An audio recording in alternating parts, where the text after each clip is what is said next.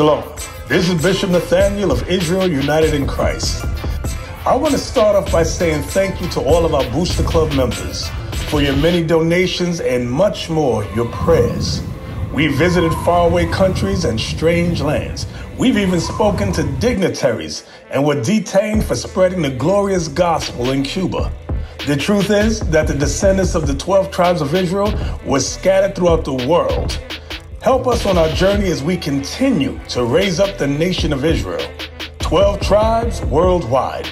Join or donate today. Shalom. Why does the Bible say that somebody is asleep? That somebody that sleep is you so-called blacks, Hispanics, and Native Americans. You sleep in religion, sleep in falsehood and lies. You sleep thinking that you black, Bring it out. thinking that you African American. You Right. sleep thinking that you a gangster disciple, a Right. vice lord, a breed. Read it again. and and that knowing the time Realize the times that you are living in, black man. that now is the high time to awake out of sleep. Don't just look at us and drive by. Don't just look at us and walk by because now it's time for what? It is time to awake out of sleep. Now is your chance to learn who you are and awake out of the sleep that you in. That's awake out of the sleep that we've been since we came over here on slave ships. Right. Read.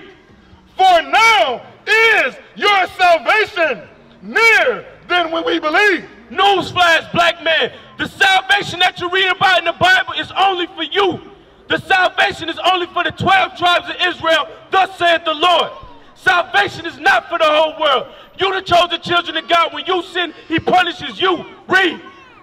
Verse, verse 12. Read it from the top. And that knowing the time, that now it is high time to awake out of sleep. And that's what we're here to do is to wake our people up out of sleep.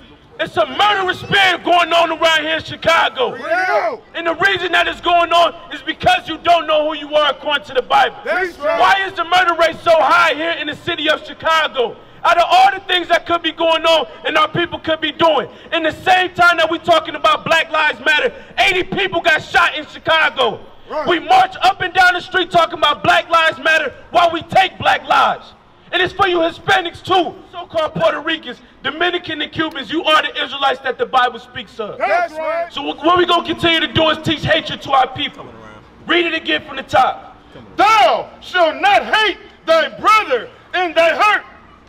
Thou shalt in any wise rebuke thy neighbor. And that's another problem here in Chicago. You can't even correct your brother without getting a pistol put in your face. You can't even tell your brother to pull your pants up without him wanting to spit on you. Bring without it him out. wanting to up a 40 on you. Bring it out. Young man, pull your pants up. Shut up. We trying to help our people out here. Brother, get off the street corner and get a job.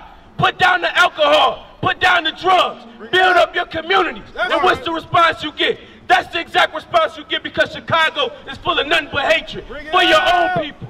You won't do that with no other nation quick to come against your own people. Bring out. And not suffer sin upon him. And that's what we out here to do. We're not out here to suffer sin upon our people. That's because right. sin is what got us in this condition now. So again, what's your name, bro? Alfredo. Alfredo. So according to the Bible, where you see yourself on that sign right there? Isaiah.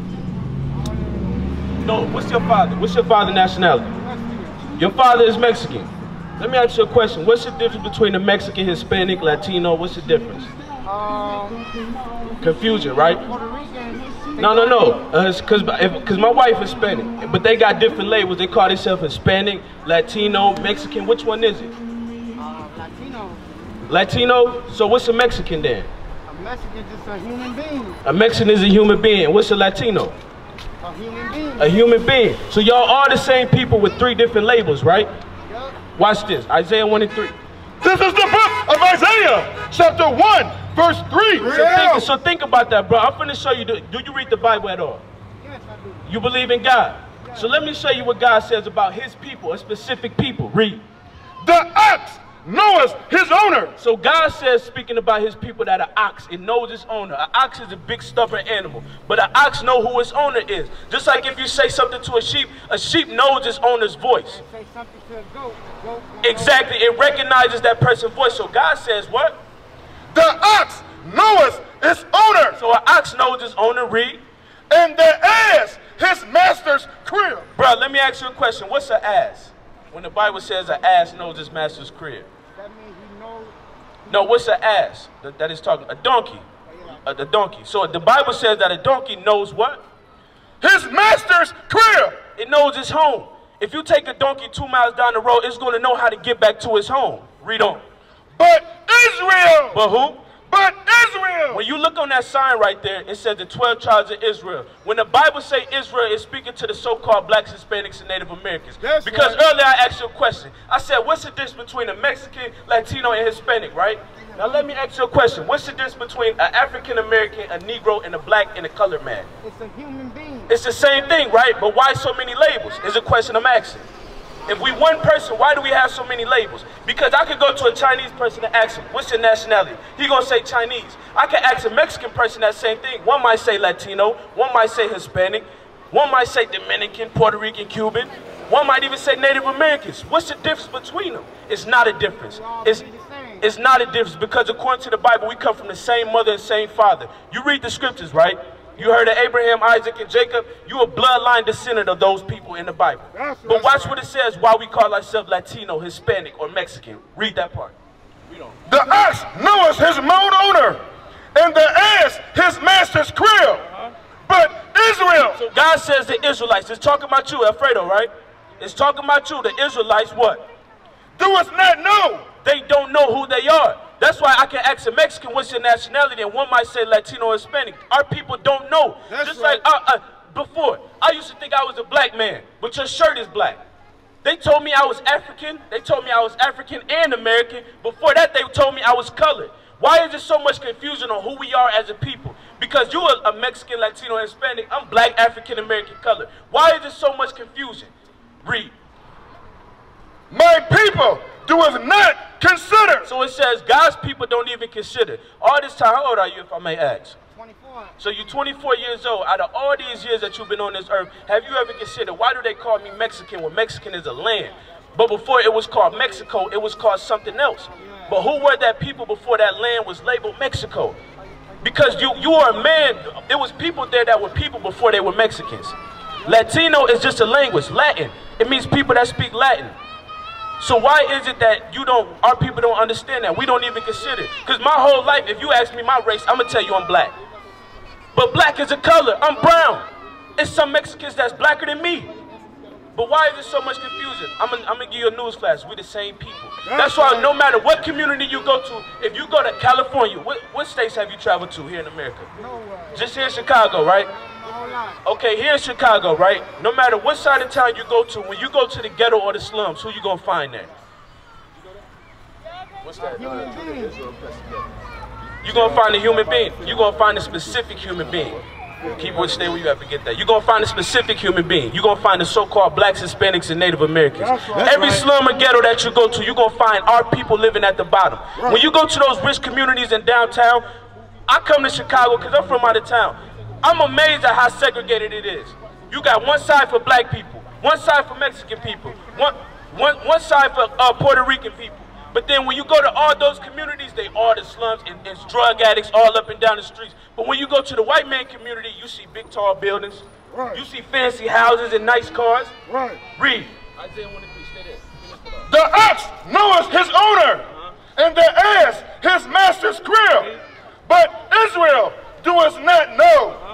My people doeth not consider. What I read earlier, it's time for our people to wake up. You know what it means to wake up? Start considering who you are.